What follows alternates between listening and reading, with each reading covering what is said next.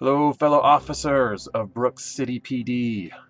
Welcome, and we're going to be looking at the first episode here, which will explain how to set up your game of Brook City.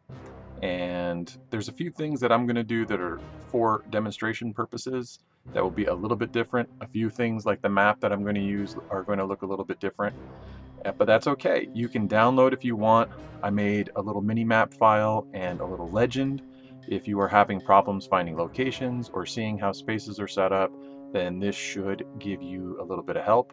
You can find it in the uh, Brook City fans Facebook page in the uh, photo section, or you can go to Board Game Geek and look it up there. It'll also be in the uh, photo section and in the forums under rules for uh, Brook City. I am not affiliated with Blacklist Games. I'm not an employee of them. Uh, I do make these videos because I enjoy the game, and, and I, hopefully I won't have to keep repeating that too often. But uh, I did help them out just for full disclosure with uh, videos on. Uh, they never asked me to do the videos; I just did them myself because I enjoyed the game. But videos on Street Masters, and then I helped them out uh, with some stuff for Aftershock. So, that being the case, all that's out of the way, who I am and all that kind of cool stuff. If any of the rules that I tell you are wrong, you'll know they're wrong because the Sadlers or Scotty Mick will have contradicted me and posted in the comment sections or in the uh, posts that exist in um, the Facebook pages.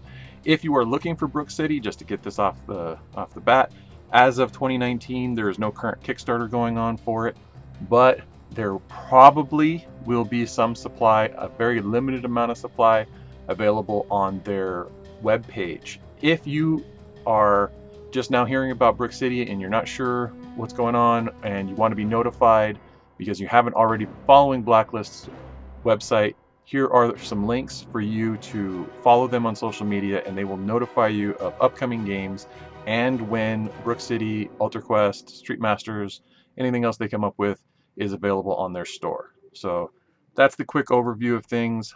Why don't you break out your manual if you have one? If you don't, you can download it from their website. And uh, let's follow along and set up your first game. We're going to be looking at The Slain Diplomat is our case.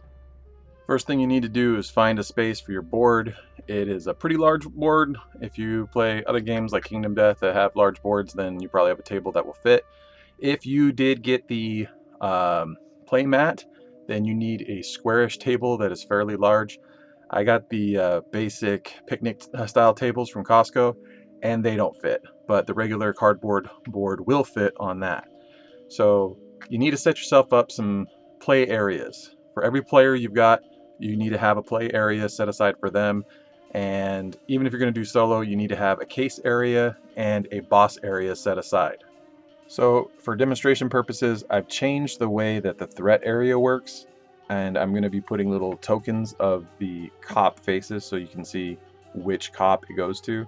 When you're looking at the board, it's more effective to be able to see where all the criminals are at one time as opposed to just what's in a particular threat area for the purposes of demonstration. So that red strip is a combination of both threat areas for the two cops that I'll be using in this demonstration. For the green section, that's where all the case stuff goes in.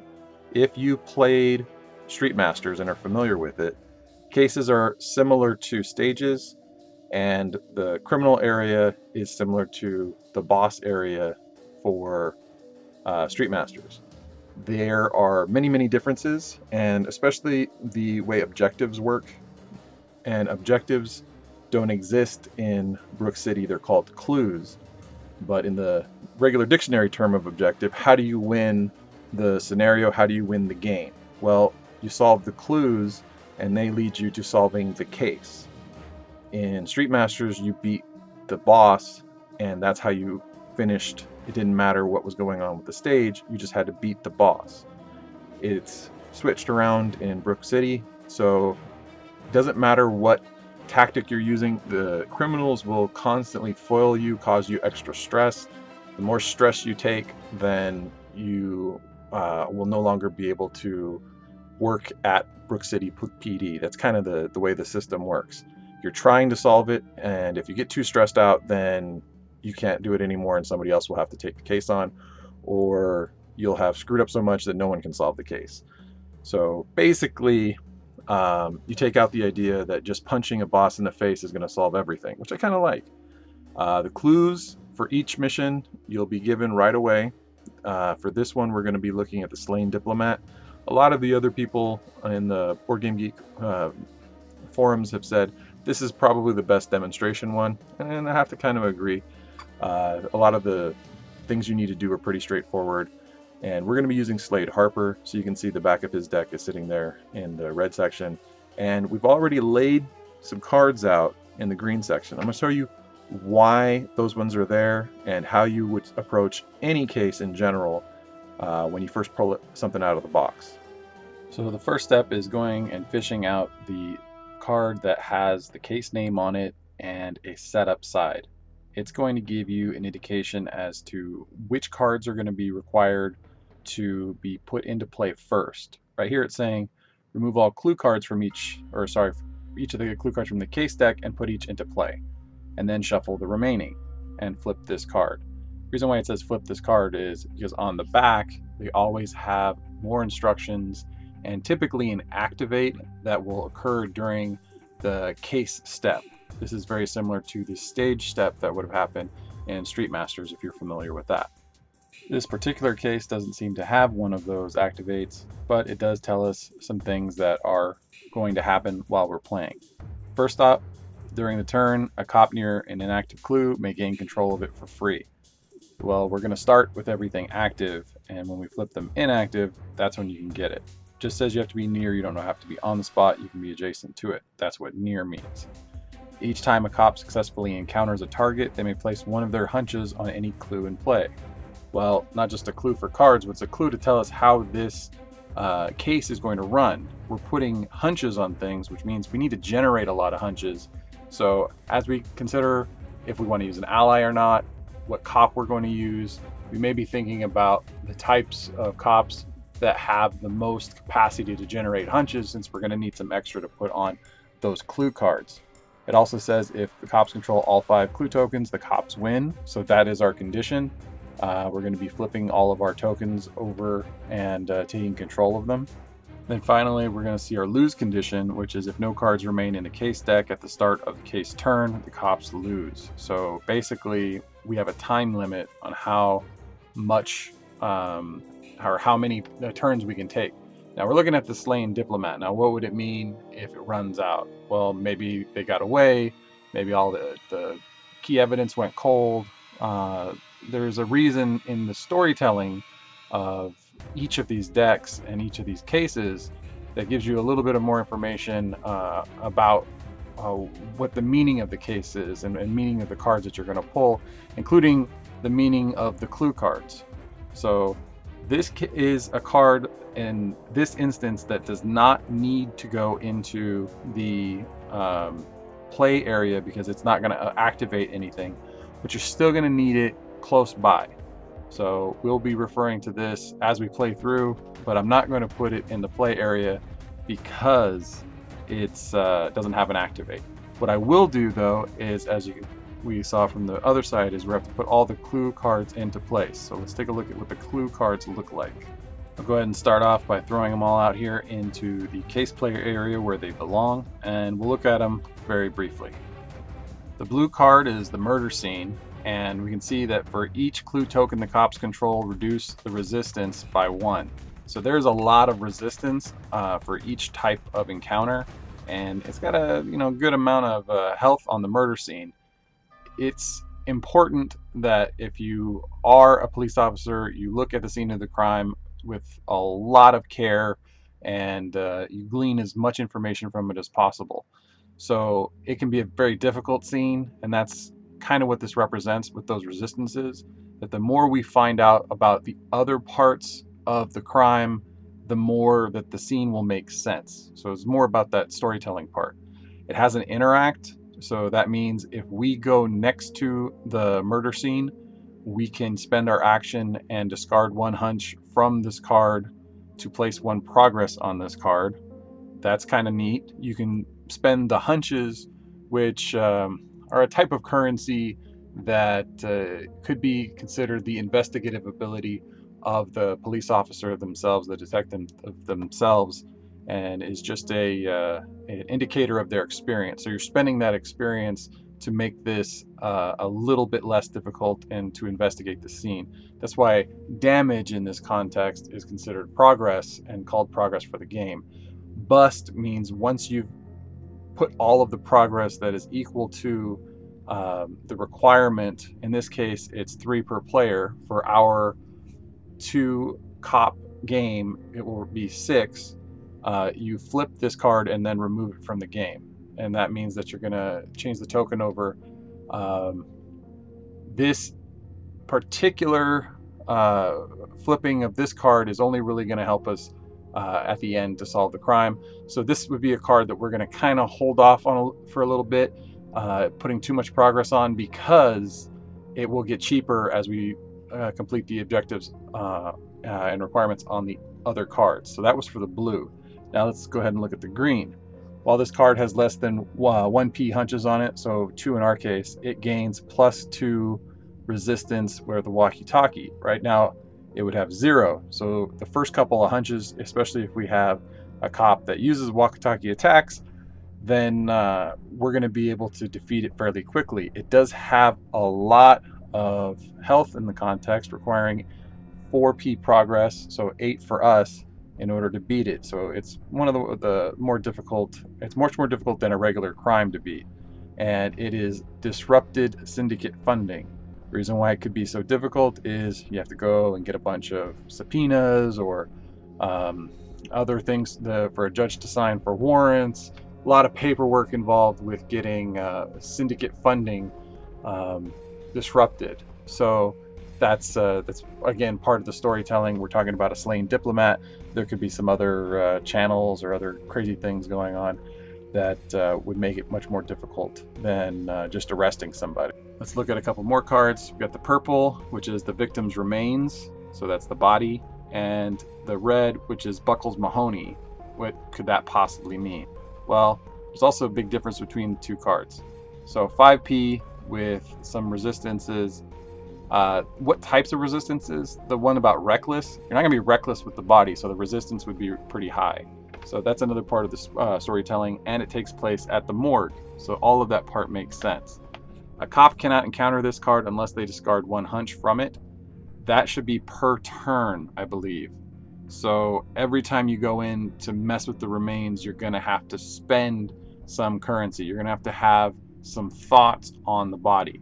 So uh, you need to kind of know what you're looking for or spend it in order to be observant. So that part makes sense. The body is the domain of the doctor, not necessarily the police officer. So it, it makes some sense that you're going to need those hunches. Now, one cop can generate the hunches, place it on the card, and then another cop can spend it. That's part of the benefit of having more than one uh, cop as you play through, even if you're going to do it solo. And if you notice, Buckles Mahoney, though, doesn't have any of those resistances and doesn't have a health score. There's no amount of progress going to do anything for that. His interact says you discard a hunch from the card and then you go look for another card called witness account and attach it. Then if there are uh, two copies in our instance or one if you're doing solo, four if you've got four players, so one P copies of witness account, attach the card, flip its clue token, and uh, pull it out. So this could be an early one to pick up because it only really requires two hunches. So uh, fairly early on, we could press this uh, concierge or um, bellboy or whatever it is Buckles Mahoney does for a job at the Capitol Hotel. It would make sense, though, if we have a slain diplomat, that they had to stay at the hotel because they're from another country or from another city or whatever uh, the thing is, for them to be a diplomat visiting Brook City. So we have one more to look at. And finally, we've got the yellow uh, coin here, token for the Relic Woods and the dumped revolver, possibly the murder weapon, right? So that's why it's a clue. And we're going to spend four hunches, so 2p in this circumstance, uh, to flip the coin to its inactive side and remove the card from the game. It's fairly easy. It's uh, a little bit more difficult than the one at the hotel, and maybe that's because we're going to press the uh, the red token, uh, Buckles Mahoney, and get a little more information out of him early and then go storming off into the woods and have to search around. So it's not really a thing where you're doing uh, reckless or uh, other types of actions that the, the cop does is their type of attack in this game. Instead, we're just spending their investigative ability. So we're spending the hunches to find the dumped revolver in the woods. Makes sense on a storytelling basis.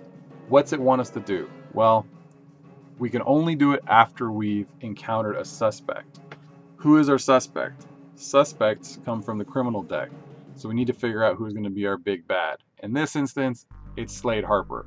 Doesn't necessarily mean in the terms of the story that Slade Harper is the one who killed the slain diplomat. It just means that they might have some information, right? So the concierge maybe directed us to uh, the suspect, Slade, and Slade's like, oh, I don't know, but maybe I saw something out in the woods. I don't know where you go look, or whatever the thing is. So there is some storytelling going on. You could be suspicious if you want and pretend in your head if you want it to be that the suspect is the one that uh, creates the crime, but they don't have to be. The uh, the suspect and the criminal deck is kind of like your foil. Um, they're just running around the town. They're suspicious. That's why they're suspects. But uh, the actual crime is a little bit separate from them. It's not tied to the criminal deck, and that's what makes it modular. So I've placed the uh, case cards all in the green area. I've put little markers for counters and different things for the purpose of um, demonstration.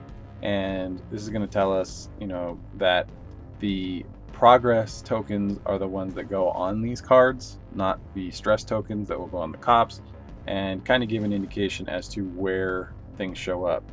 The uh, Slade card, right now we're just showing the back because we're using that as a threat area, and my uh, my boards will be all set up so there will be um, a separate area for the boss, a separate area or suspect, and a separate area for each of the individual cops, and then we'll look back here with uh, what's going on for the stages. Speaking of the stages, it looks pretty bare right now. We're to need to add some things. The uh, cards each said a location, and that's where you're supposed to put the active side tokens up. Active site is the light side, dark side is when they're inactive, and uh, we need to place a suspect, and all of that information was on the cards. So I'm going to just drop them here on the map. If you want, rewind a little bit and you can see on each of those cards. Or hopefully you're playing along and you can compare um, with your own cards and see, uh, see where they go into place. So everything's placed on the board and you can see how I'm designating things. You can see the tokens and uh, the red mark that's around the uh, suspect. The red token holder, um, not token holder, the little plastic ring, that's supposed to go on your um, suspect figurine and the black ones will go on the crimes and the blue ones will go on various cops and you can use them as cops and you can also use them uh, for your allies depending on how you uh, want to play everything it's a little inconvenient to swap between a single set of enemies every single time you play you may want to reserve the black ones for rivals uh, or something else just because it's a little easier to put it on one or two rivals than to do uh, the full complement every time you want to switch between criminals. Um, so we're going to switch over, speaking of criminals, to the criminal side and see if there's anything special we need to set up for Slade. Alright, we're over here on the criminal side and you can see the suspect card, the progress token, that's for his health. The more progress that's put on him, that's essentially as if he's been damaged. And then there's the influence token, which uh, looks like a coin.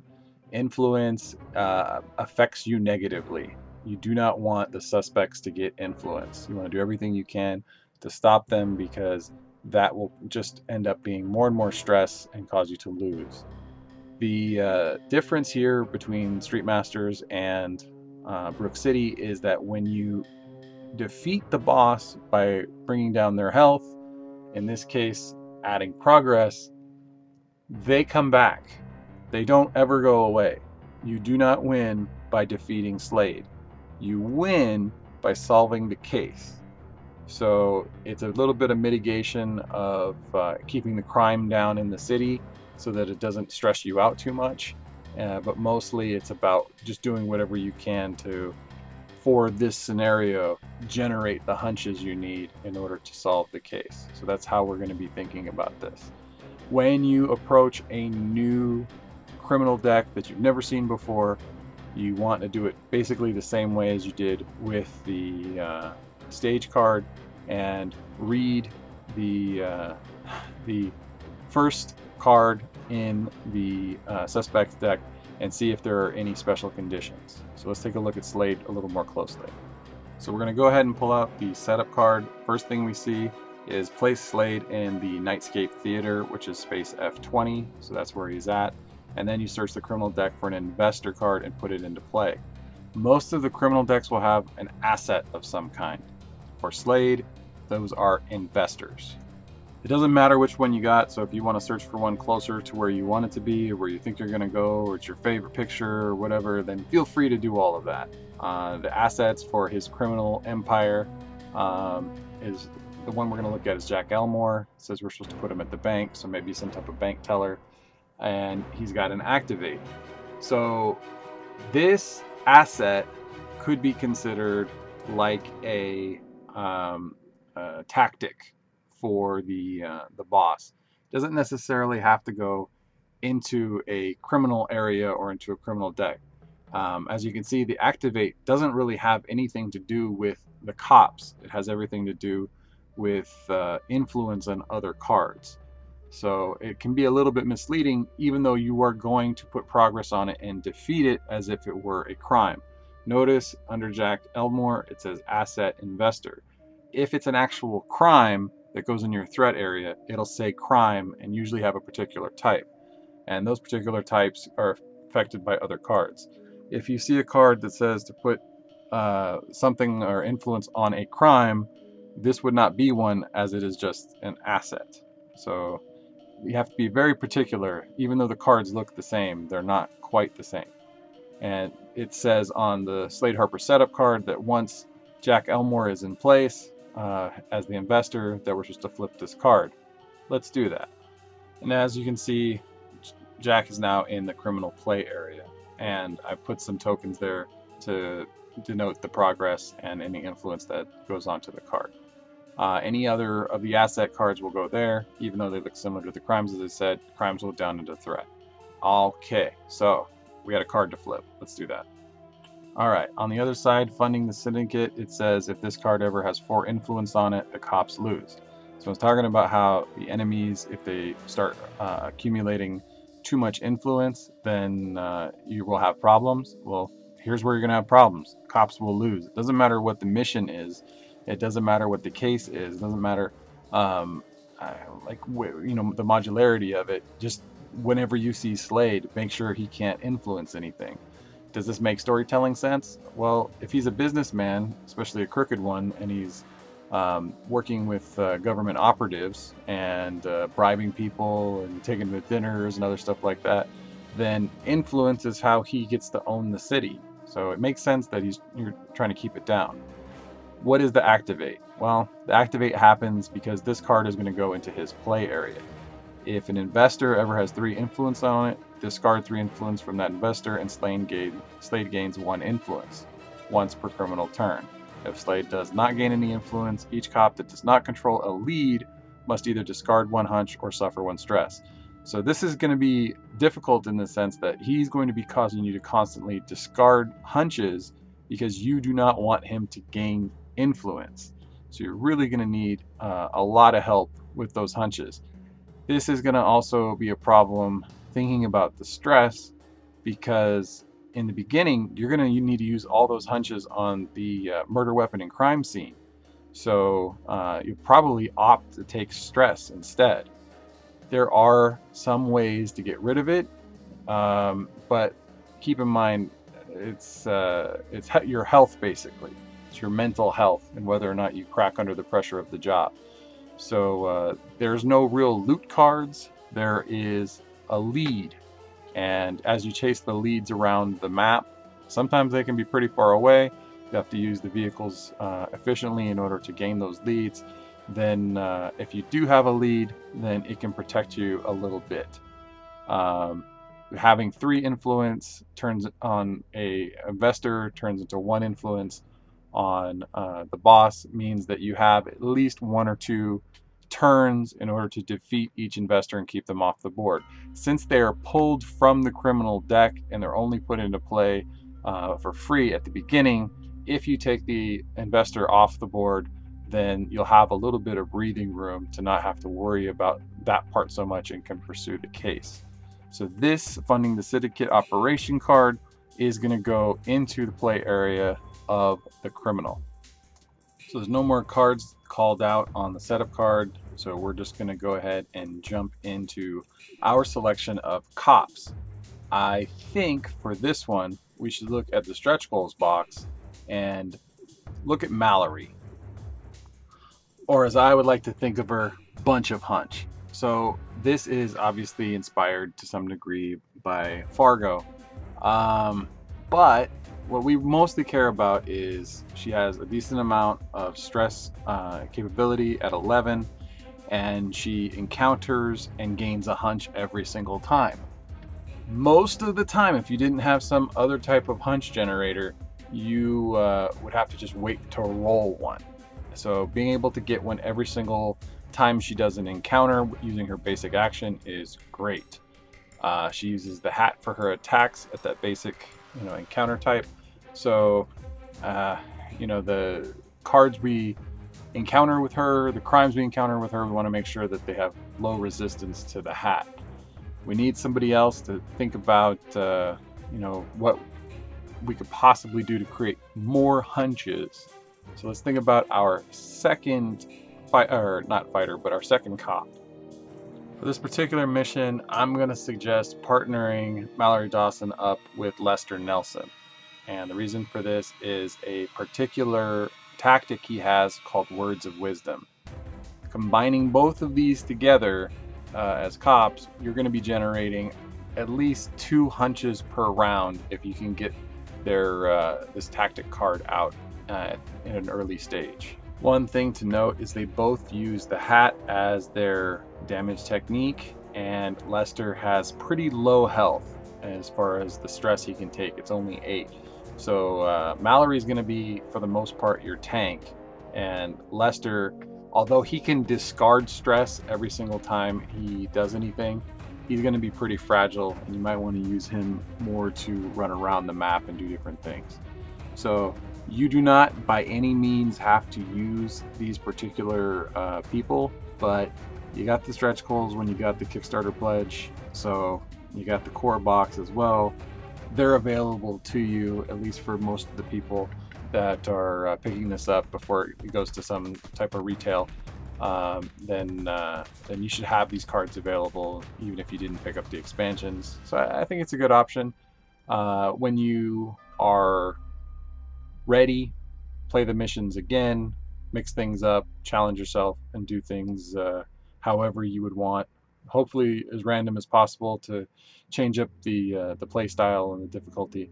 But uh, for the very very first thing you do, I would say give yourself some advantages and uh, put Lester in there to mitigate the stress and generate hunches, and Mallory just to be the uh, hunch queen. So is that all we should be doing right now?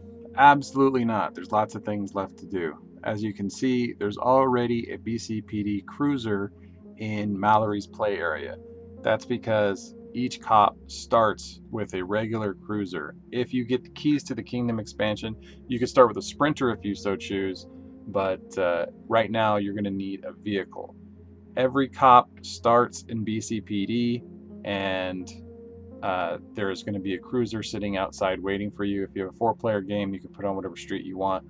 But uh, for right now, just go ahead and set these up with the two cops and their cars. For the purposes of demonstration, you can see I put the front of the car and I have the uh, cop face that goes along with it.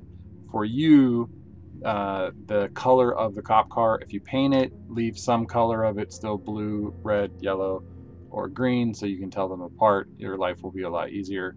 And uh, what you would normally do is when the cop is in the car, you put the car on the board and then put the cop figure onto the vehicle card. Now let's take a quicker look at the vehicle card in detail. First thing, this is a special car. As you can see under vehicle classification where it says government special, you need to separate out all of the special cars, boats, planes, trains, automobiles, etc. from the ones that do not say special. The ones that say special can only be picked up at special locations. On the mini map that I've got that we're using, those locations are in red. So next to the docks, the airport, and at BCPD, that's where you're going to pick up your special cars and other uh, vehicles. How do you know which one to use? It says while this card is not controlled by a cop, a cop in BCPD may commandeer this vehicle. You can't use two people in the same car, basically, is what it's saying, and uh, you have to pick it up at BCPD. Um, the uh, you can ditch this car, as you can see, there's a ditch effect uh, at any time during your turn, and it will allow you to go to uh, any Brook City location. That is really powerful. You can go all the way around the map. If you had your uh, sirens blazing and the, the, the cherry top spinning, um, you basically wrecked your car because you went so fast getting there, but uh, you got there within your turn. So you can do this before or after you do your normal move step, which means you can exhaust while driving this vehicle, you may move one for each crime in your crime area is the exhaust effect. Then ditch, and then move. So you get some extra speed and movement out of it. Um, so that part is up to you, uh, how you choose to use it. Um, but that effect is available because you can commandeer another car once per turn. So after you've ditched this car, if you're still in a street, you can commandeer another car for use next time. You won't get any new moves, you won't be able to do anything else unless there's um, other functions available. Then, uh, and you, if you ditched uh, this second car, you wouldn't be able to pick up another one until your next turn. For the purposes of demonstration, when I've utilized my commandeer function, uh, there's a little car door that I put on top of the vehicle card, and that's going to tell me that I've already used it you're going to be using a bunch of uh, characters to play solo, I recommend you getting some coins, some pennies, dimes, nickels, or whatever, so, or just uh, drawing on the inside of a coin capsule, whatever it is that you want to do uh, in order to flip that says that you've utilized your um, commandeer action for the turn. It just keeps everything simple. It doesn't necessarily need to be coin. You can do whatever it is that you want to do but uh, it makes it uh, easy to denote if you use that action versus say an exhaust which uh, you could use on some vehicles. You need to be wrecking cars left and right in this game in order to be getting around. Doing it on foot is just absolutely too slow. But now that you've got a car where are you gonna go? Are you just gonna go token to token? Absolutely not. You got some options. There's different things you can be doing. First off you need to be investigating leads. So once you get a tip off, you're at BCPD, they're like, hey, Mallory Dawson, we've got a case for you. There's a slain diplomat. Oh yeah? What have you heard about it? I don't know, but I think there's some information at this other place. And the most analogous thing to the lead is loot from uh, Street Masters. These are little bonuses as you run around the map you can uh, pick up. You can get in and out of a car during each step of your regular action. So as you're moving around or you're playing a card or you're doing your action, you could get in and out of a car for free. So uh, as you move around, utilize that free in and out of the car thing to, uh, to pick up the leads. Well, how do we know where to pick them up? We draw from the lead deck. So make sure you have that handy and you uh, shuffle it up real good and pull a card. So let's pull a card for us and see what our first lead is. All right, so what we pull is a little something to go from Jeb's Bottle Shop. Has a little flavor text, talks about catering to the populace. Uh, so maybe it's a beer, who knows what it is. And uh, you can discard it to uh, ditch it to discard to stress.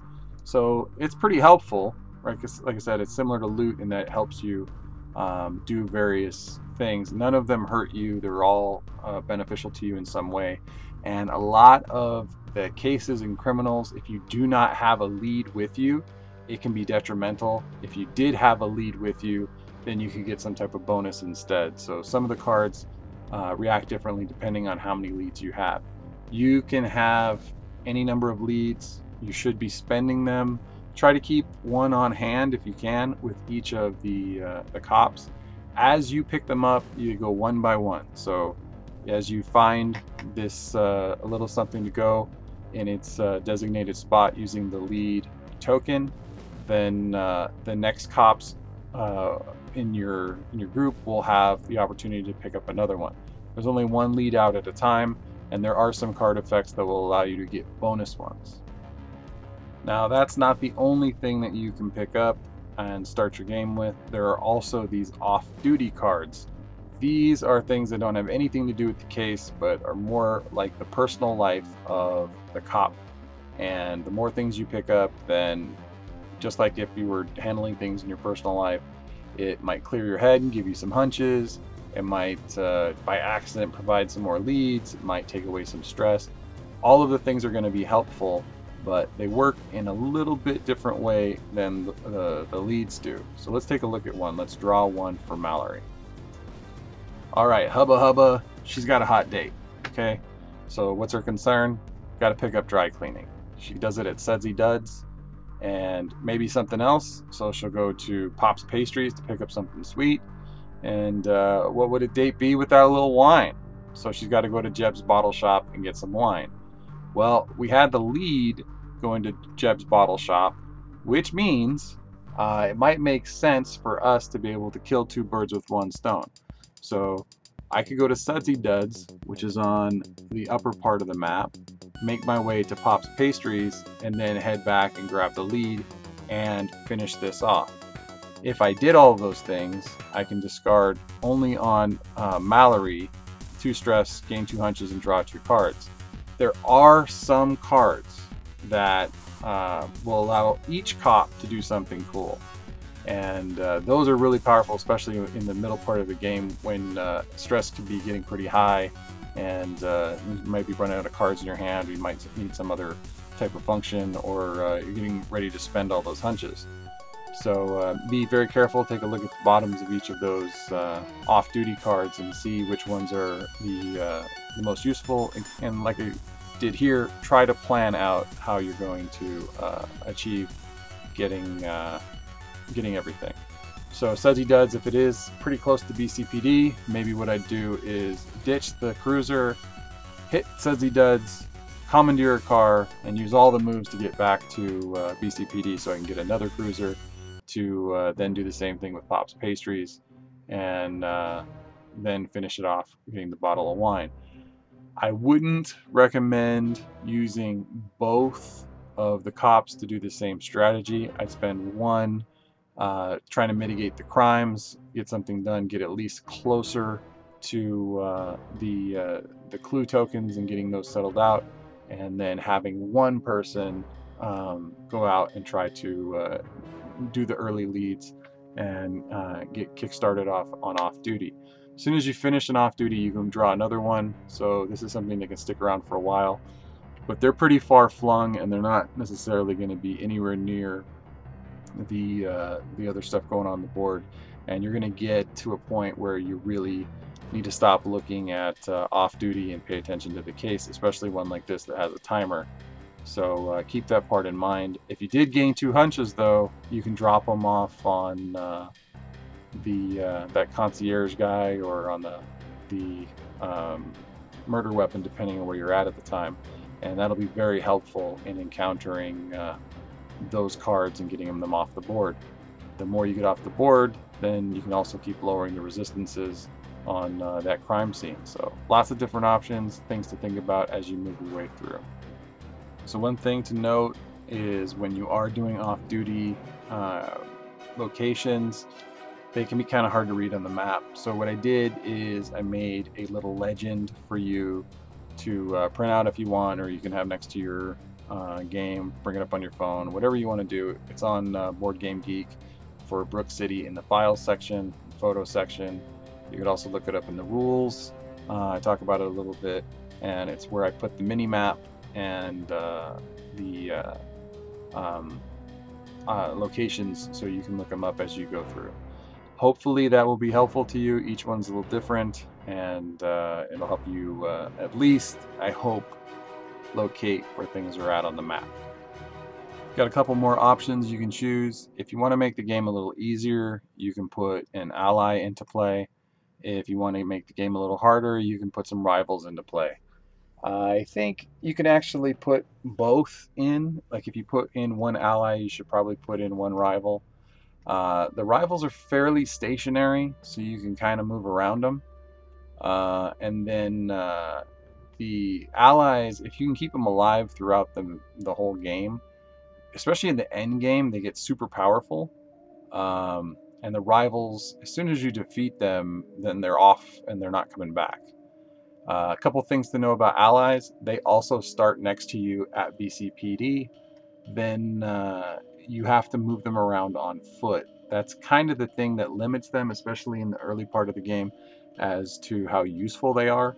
You can plant them, though, and walk them over towards um, something that you have to hit, right? Something you have to put progress on that's going to be difficult. So one of those clue tokens if you um, are supposed to be dealing progress to it and doing encounters on it, then uh, that ally can go sit over there in every round for you, help uh, uh, you know bring it down.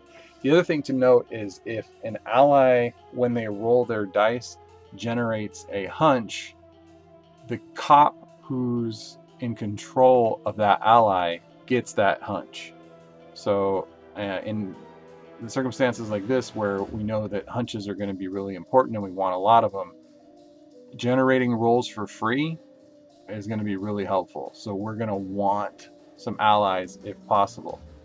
Um, that part is just totally up to you, and you can you can decide on how difficult you want it to be or how non-difficult you want it to be. We're not doing a full playthrough; we're just doing setup, so just leave it where it is right now. The only thing that's left that you have to do is draw some cards. You open up with your initial hand, make sure you got a good mix. You want at least one tactic in there just to help yourself out. If uh, this was Lester's turn, then we'd want to mulligan and try and get that one tactic we were looking for for that hunch generation. Um, and then kind of go from there. The next thing you're going to do is get yourself ready with a turn card. That's what this one looks like.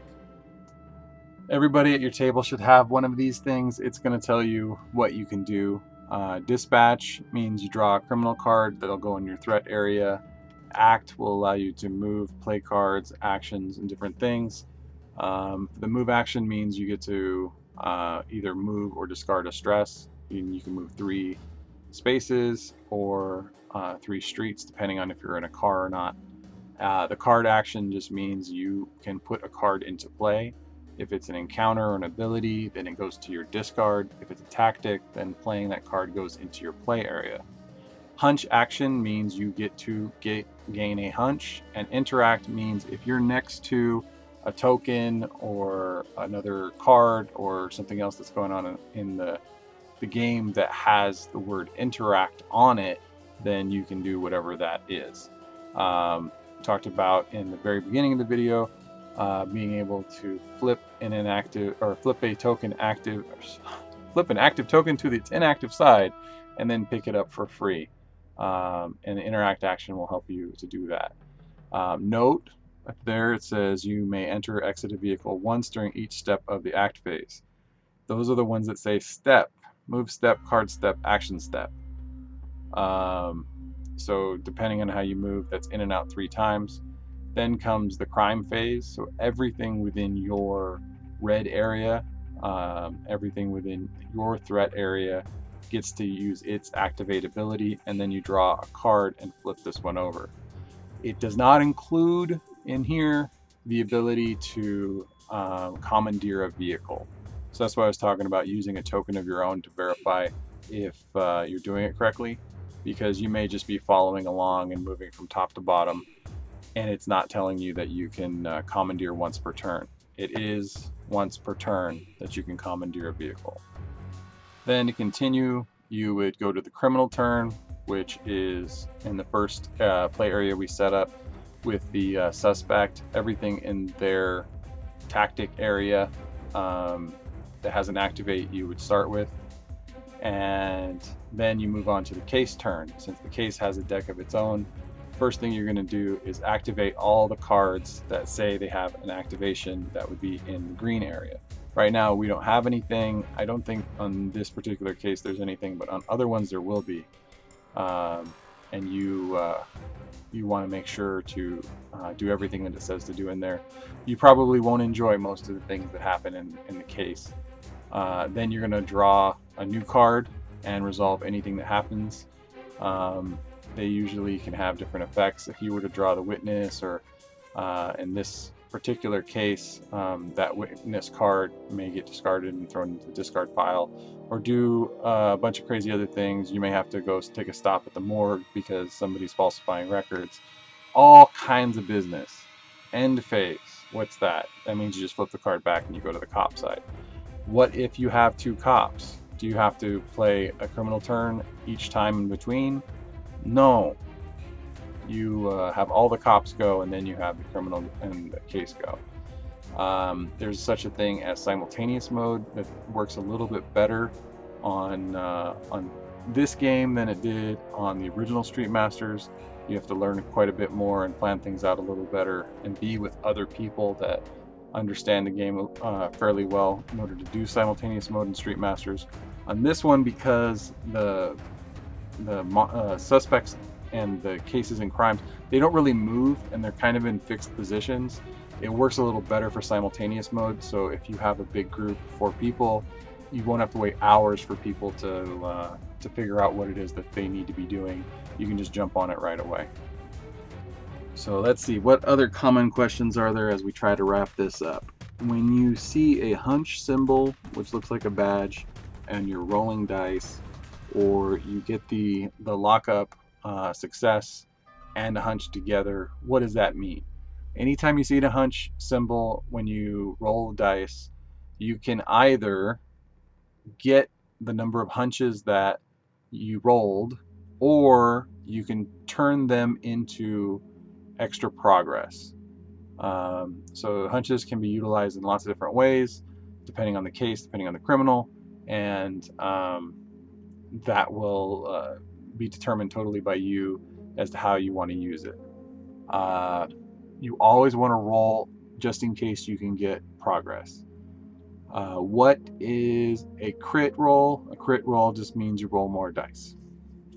Um, that's kind of how the Saddlers work with exploding dice. They love that mechanic, and that makes it so every time you roll something, you'll uh, you'll have a little bit of forward progress instead of just being totally kneecapped by uh, the next dice roll, which is kind of nice to have. If you have any comments, questions, concerns, you can feel free to leave a comment wherever you see this. If it's on one of the Facebook groups, on BGG, or uh, on my YouTube channel, you can feel free to go ahead and uh, and try to put something in there. Again, as I stated at the beginning, I'm not affiliated with Blacklist, so if you have a comment for them, go to their page and uh, and put it uh, in there so they can see what you're looking for, especially if you're trying to find the game or any particular clue. Um, the Saddlers are uh, extremely helpful, so Scotty Mick and everyone else from Blacklist. They go through all of the different comments for all the different uh, areas and try to help people out with rules as best they can. I will try to do a full playthrough later, but it takes a long, long time for me to animate things the way that I want to animate them um, so I can be as descriptive as possible. This uh, should be enough to get you started uh, setting up your game right out of the box and uh, have you play along there are some good videos uh, from the first playthroughs with the Saddlers. They did not have the uh, multi hours to throw at uh, setting up and Premiere and putting everything together the way I have to animate all the pieces for you. Um, took me about a month to get everything set up for you guys. But if now that you have it all set up, if you want to go play along with one of their videos, uh, that will be in Blacklist's YouTube channel um, for you to check out and should be pretty helpful. Have a good one.